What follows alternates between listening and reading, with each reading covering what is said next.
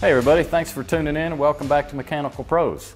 Today we've got one of our top account managers with us, Mr. Braden Blythe, and he's going to go over some quick tips to look for when you're doing cooling tower gearbox maintenance. Yeah, Bryan, so I'm here today to discuss the maintenance of a gearbox on a cooling tower. Cooling tower is a device that we use to extract heat from water. Um, it does this via evaporation and a gearbox is a crucial component of the cooling tower. A gearbox is a component located inside the cooling tower that moves air across the water, therefore cooling the water, going to your chiller, whatever it might be inside your building. Right, uh, so in my experience, typically I'm seeing these guys, like you said, on a chiller, maybe a water source heat pump loop in the HVAC mm-hmm. world, you know, but they can be used for many things, process and industry and stuff. But yeah. in our world here at MRG, we're usually dealing with uh, chillers and water source heat pump loops. Yeah. Typically, is that right? Yep. Gotcha. Yep. Gotcha. That's correct. So, Bryan, whenever you're walking up to a cooling tower, mm-hmm. what I like to do is before you even shut anything down, just listen to the tower run. Okay. Listen to the tower run. Put your hands on it. Feel and listen if you can hear any abnormal noise, any vibration in right. the tower. Yeah. Because um, a lot of times you can catch something there before gotcha. you even shut the tower down. It's a really big product when you walk up to a tower, and it's going to make a little noise. But what I guess what you're saying is it shouldn't be excessive. You shouldn't really have a roar. You shouldn't have any knocking sounds, things okay. like that. Yeah, gotcha. No, I didn't think about the knocking sound with the gears inside the box yeah. making that sound. I see. If there is an abnormal vibration, or mm-hmm. if uh, if everything checks out good, then you want to go shut the tower down. If the tower has a VFD, you don't want to just go shut the disconnect off. It's a great point. So, yeah. Can you talk a little bit about that with disconnects and VFDs and can potentially cause some issues? Yeah, yeah. So a VFD, it's it's a variable frequency drive, mm-hmm. and okay. we use this to vary the, the, the fan speed on the cooling tower. Okay. So you don't need it running at full speed all the time. Right, right. So a lot of times it's only running at half speed. Gotcha. Um, but if you go, say if you have a disconnect on a tower and you go and just turn the disconnect on and it is a VFD, it could cause severe damage to the VFD. Great. So it's always I'm glad good. you brought that up. We, we have a we sell and rep VFDs, and that's our VFD specialist. His biggest thing for us to do is don't ever go slamming a disconnect off. If you make sure if you've got a drive connected to that, you shut the drive off right first. Yep. And then you go kill the disconnect, not yep. vice versa. It's good to always know your yep. equipment, know everything around. So if Great you do point. have a VFD, just press the off button, make sure it's all the way down. You don't have any amps going out. Yep.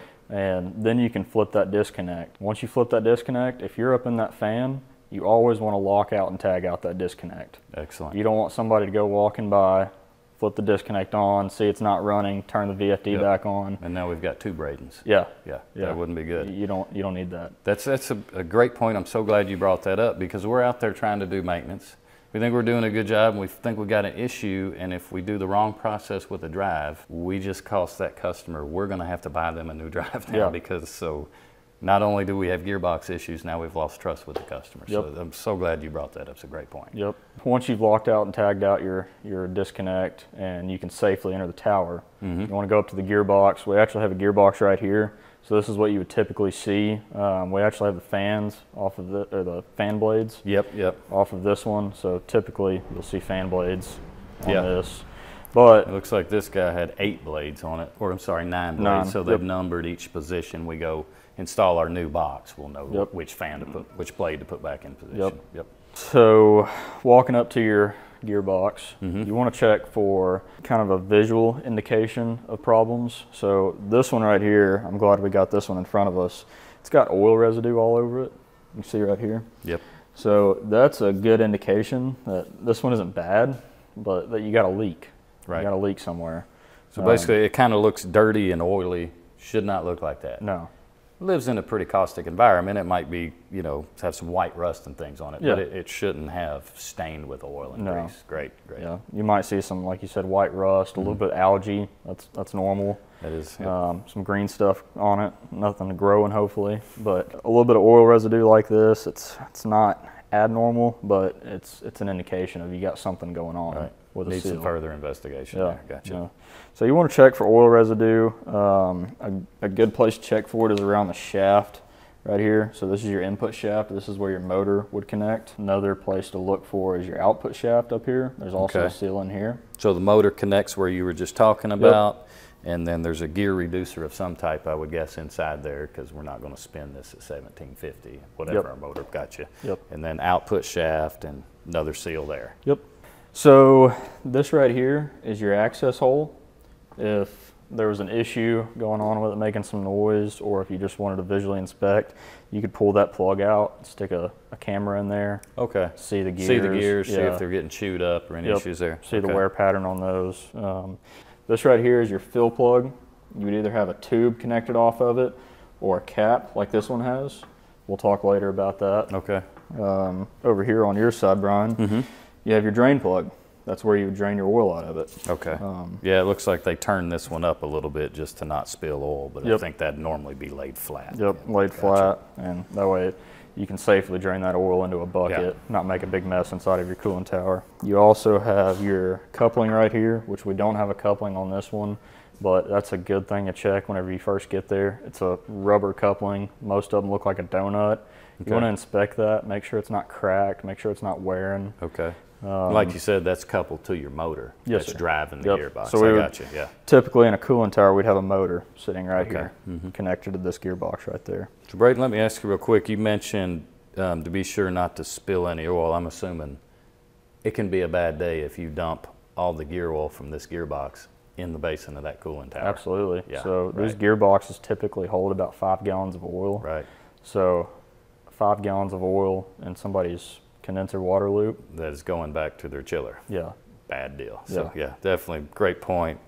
Bucket, something to be very, very careful when you're draining the oil out of these boxes. We do not want to complicate an issue that's already bad there. Absolutely. Great. Gotcha. Yep. Moving further into the gearbox maintenance, Bryan, Mhm. um, the next step would be checking the oil. Some gearboxes have a dipstick tube on them, which you'll have a, a physical tube connected to this, running pretty much up to the top of the tower. Okay. You'll have a dipstick on it, just like your car would, checking your Okay. engine oil. Yeah, yeah. It's like an add or full mark Yep, on it. yep. Okay, I see. They typically have a line on them, and like you said, add or full. Mhm. And it's always good to check with the manufacturer to see where that oil level is for your gearbox. But like this one has, it has a fill plug. So whenever you're filling this gearbox up with oil, you want to put a funnel, pull this plug out, and we want to put a funnel in here so we don't spill gear oil. Put a funnel in there, and you want to fill that up till it's almost coming out of that Okay. that 90 right there. Maybe a half inch below overflowing from the 90. Yep. Okay. Yep. Another thing to note with these is if you do have a, a dipstick style, it's pretty easy to overfill those. And if you do overfill them, Right. it can cause pressure inside the gearbox and blow oil out of a seal, pop a seal out, cause premature wear. Putting too much oil in it is going to cause premature seal failure, basically, Yeah. because, like you said, it's overpressurizing, going to pop it out. So. Absolutely. And I guess when you say it's easy to overfill, because like you said before, now you've got a long pipe coming out of that 90 going to the top of the gearbox, and that's going to have a column of oil. hmm So I see. I Yeah. can see how that would would overfill very Yeah. easily. Yeah. So take your time filling it up, check it multiple times, spend the extra time checking it. Don't just go. Mm-hmm. Just like kind of like the gear oil that would be in the rear end of a car, really thick Yep, gear oil, is yep. it? Okay. It's very so it takes some time. Yeah. Cold days probably going to take a little longer Yeah, to get it in there. especially because whenever we're doing maintenance on these, it's typically colder days. Yeah. That's, So that's a good point. that That's oil is very thick Gotcha. whenever you're putting it in there. All right, Bryan, well, you did a great job explaining how important it is to make sure we get the oil level at the proper level. But as you were mentioning earlier, before you come up on one that's been leaking, what kind of risk would we run into with a gearbox running low on oil? Yeah, so a lack of oil could cause premature gear failure. Okay. Um, if you don't have enough oil in there, you're not getting that oil to the appropriate places. You're not getting the oil to this bearing up in here, Okay. the output shaft. Yeah. Those higher levels, you're not slinging that oil up there. Okay. You think in that case maybe if you if you knew it was low on oil, might be a good idea to pull that inspection plug then and just kind of run a borescope camera in there and see if you're seeing any. Absolutely. Okay. Yeah. Yeah. Just check it. That makes a lot of sense. especially if it's making some noise. If you heard something walking up to it, just to go ahead and let the customer know what's going on Yeah. and something to expect. Never in the near hurts to roll up those pictures in your service ticket either, so they can really see you know, what, what they're up against. Yeah. That's a great point. talked about oil. Um, this oil doesn't last forever. Okay. You so do like your car, you got to change change the oil. Yep. Okay, I see. Yep. Um, some manufacturers recommend you change it a year, some five years.